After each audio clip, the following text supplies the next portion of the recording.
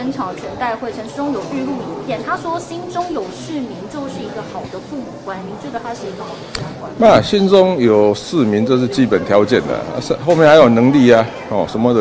哦能力太差了，体力太差了，啊还是哦最后就变成心有余而力不足嘛，那也没有用啊。好，那现在怎么看？就是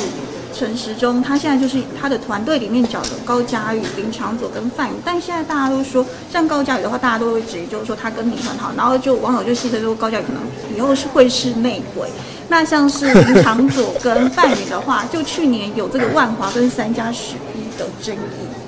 你怎么看他的有？啊，这个选举团队还是组合嘛，哦，啊，其实我我们非常清楚的，其实其实选举团队有时候有时候是摆给人家看的，有时候把他叫进来让他不能讲话的，所以有各种策略，所以所以我倒觉得这样的，这才是个开始吧。再再看一个月，真的选举选战开打以后，才知道说那那个那个给人家看的这种阵容到底是真的还是假的。那你觉得谁是被叫进去不给他讲话的？下一题。那那你怎么看？就是说，因为人家现在就是在批评，就是说范云跟林长佐，你觉得这个会是那个陈时中他团队的一个让人家攻击的破口？因为现在大家都攻击这样。